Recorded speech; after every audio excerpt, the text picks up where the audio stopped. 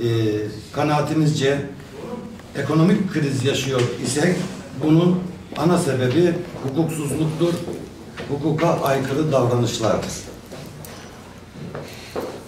Bildiğiniz üzere geçen hafta Yargıtay 3. Ceza Dairesi ile Anayasa Mahkemesi arasında e, bir çatışma yaşandı. Buna yargı krizi yahut da anayasayı ortadan kaldırmaya teşebbüs adı altında bir sürü e, değerlendirmeler yapıldı. Ancak işin özü şu ki bu çatışmadan en büyük zararı ülkece biz gördük, milletçe biz gördük. Niye böyle diyoruz? Ana kuralımız şu. En kısa tanımıyla hukuk devleti devletin kendi koyduğu kurala önce kendisinin uyması anlamına gelir. Yani hukuku koyan yasama, kuralı koyan yasama ve yürütme mutlaka ve mutlaka bu kurallara uymak zorundadır. Uymadığınız takdirde ne olur? Anarşi olur, kaos olur ve en sonunda da ekonomik kriz olur. Dahası da var ancak Allah beterinden korusun diyelim. Şimdi anayasanın 153. maddesi yasama yürütme dahil bütün devleti ve kamu organlarını bağlayacağı hükme bağlanmıştır. Hem kişileri hem kurumları bağlayıcı bir hükümdür. Anayasa Mahkemesi'nin bireysel başvuru hakkı mevcut iktidarın getirdiği bir uygulamadır. Bu uygulamanın ana sebebi neydi? Türkiye'nin Avrupa İnsan Hakları Mahkemesi nezdinde daha fazla rencide olmamasını sağlamak ve süreci uzatabilmek amacıyla getirilmiş bir uygulamaydı ve başarılı bir uygulamaydı. Hemen öncesine gittiğimizde şimdi eleştirenler Avrupa İnsan Hakları Mahkemesi'nin bebek katili hakkında verdiği ihlal kararını okusunlar. Yine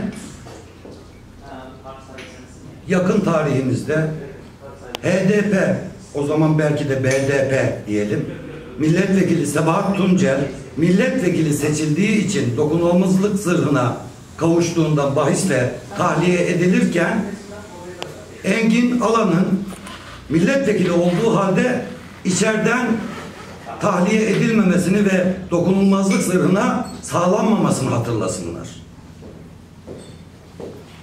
Bütün bunlar dururken şimdi Anayasa Mahkemesi'ne hiç olmayacak şekilde saldırının e, gerçek manada konusunun Anayasa Mahkemesi olmadığını dillerinden anlamaktayız.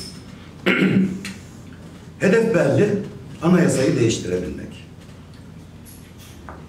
Hepinizin bildiği üzere zaten anayasanın 170 tane, pardon yüzde 70'i değiştirilmiş durumda. Değiştirilmeyen maddeler değiştirilmesi teklif dahi edilemeyecek maddeler olarak sınırlandı. Eğer bunu da kaldırırsak, eğer bunu da e, yok edersek Türkiye'nin bölünmesini, parçalanmasını çok daha kolay hale getiririz diye düşünüyorlar diye düşünüyorum. Anayasa Mahkemesi üzerinden gidecek olursak, bakın Anayasa Mahkemesi 1960 Anayasasıyla getirilmiş bir kurum olup gerçekten çok önemlidir.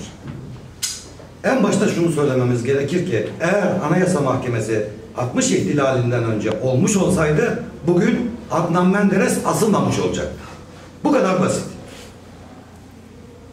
Rahmetli Menderes'in cenazesinden yola çıkarak oy toplayanlar, oy devşirenler şimdi Anayasa Mahkemesi'ne saldırmakla meşguller.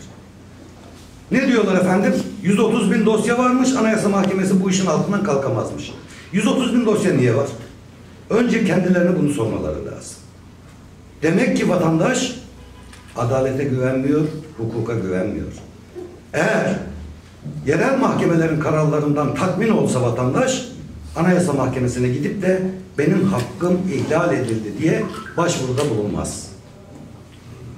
Dolayısıyla Anayasa Mahkemesi mutlaka ve mutlaka olmak zorunda hatta bazı yetkiler e, daha çerçeveli bir şekilde düzenlenmek durumundadır. Yoksa biz de Anayasa Mahkemesi'nin bir sürü kararını eleştirebiliriz. Daha geçen hafta sansür yasası diye bildiğimiz dezenformasyon yasasını onayladı. Eleştiremez miyiz? Eleştiririz. Doğru mu? Bizce değil ama uymak zorundayız.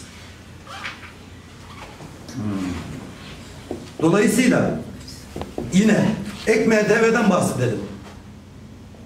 Vergi kanunları bir konu dolayısıyla bir kere vergi alınacağını düzenlemesine rağmen deprem bahane gösterilerek ek vergi konuldu ve e, motorlu taşıtlar vergisi ikinci kez alınmak istendi.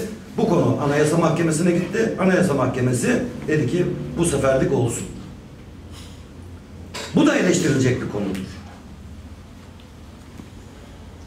Anayasa Mahkemesi'ni eleştirmek ayrı, kurumsal yıpratmak ve ortadan kaldırmaya çalışmak çok daha ayrı bir konudur. Dediğim gibi Anayasa Mahkemesi'ni ortadan kaldırmayı düşünenler ne olur Adnan Menderes'i hatırlasınlar. Adnan Menderes'in asılmasının sebebi Anayasa Mahkemesi'nin olmayışıdır.